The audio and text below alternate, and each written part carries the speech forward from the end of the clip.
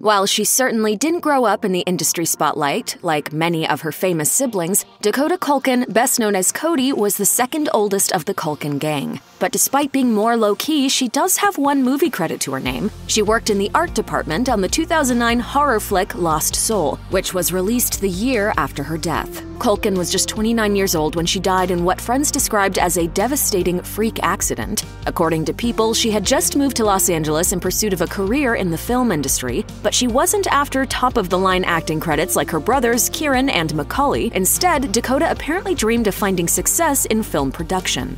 Lost Soul director Dana Schroeder told people that Dakota was humble, adding that she was the type that found a home behind the scenes. And Andrea Poe, one of Dakota's Lost Soul co workers and friends, described Culkin, saying, She was actually quite hilarious, witty, and down to earth. Poe says Dakota was especially tight with her brother Macaulay. Later, Macaulay would reveal to Esquire that he talked to his sister just hours before she died. The night of her death, the media reported that Dakota was walking along Lincoln Boulevard on the west side of Los Angeles. Vanity Fair noted that she had just left a bar called Brennan's when a car struck her. Culkin was rushed to UCLA Hospital where she later died, having sustained severe head trauma. According to a statement from the LAPD, the driver stopped, rendered aid, and identified himself as required by law detectives have determined that the driver was not under the influence of drugs or alcohol, so no crime was committed. The Los Angeles County coroner alleged to people that Culkin was likely under the influence of alcohol when she was hit. Although her own blood alcohol level could not be confirmed, Culkin's family reportedly stated that Dakota had been in therapy for alcohol addiction.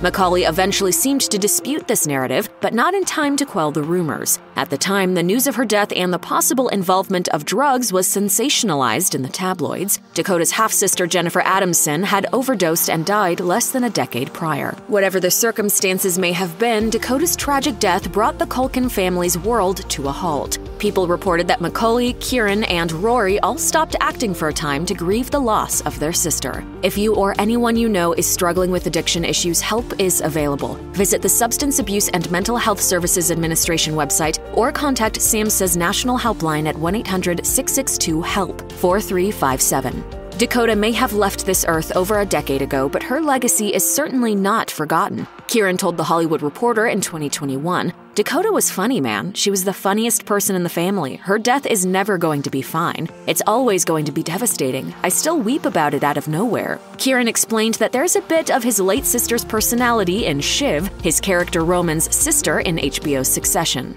How am I the mature one here?